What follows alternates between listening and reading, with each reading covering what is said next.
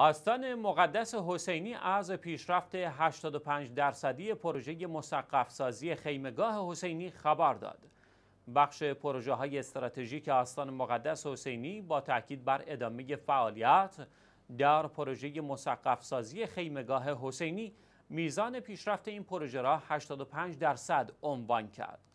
به گزارش پایگاه اطلاع رسانی آستان مقدس حسینی مهندس هیدر شوقی مجری این پروژه گفت مساحت کلی این پروژه به 1200 متر مربع می رسد و عملیات مسقف کردن شامل شش خیمه خواهد بود که خیمه امام حسین علیه السلام بزرگترین خیمه است. هدف اصلی از اجرای این پروژه ایجاد فضایی مناسب برای عبادت زایران در هر شرایط آب و هوایی است. همچنین حاج فاضل مهدی ابودگه متولی خیمگاه حسینی گفت پروژه مستقف سازی چهار سال قبل آغاز شده و آستان مقدس حسینی بر اجرای آن در زمان مشخص شده تاکید دارد.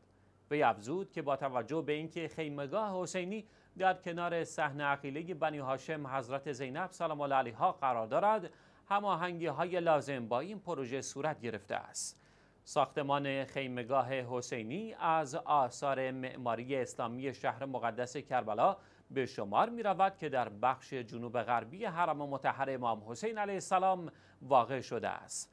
خیمگاه حسینی مکانی است که امام حسین علیه السلام اهل بیت و اصحاب ایشان قبل از روز آشورا در سال 61 هجری قمری خیمه های خود را در آنجا برپا کرده بودند.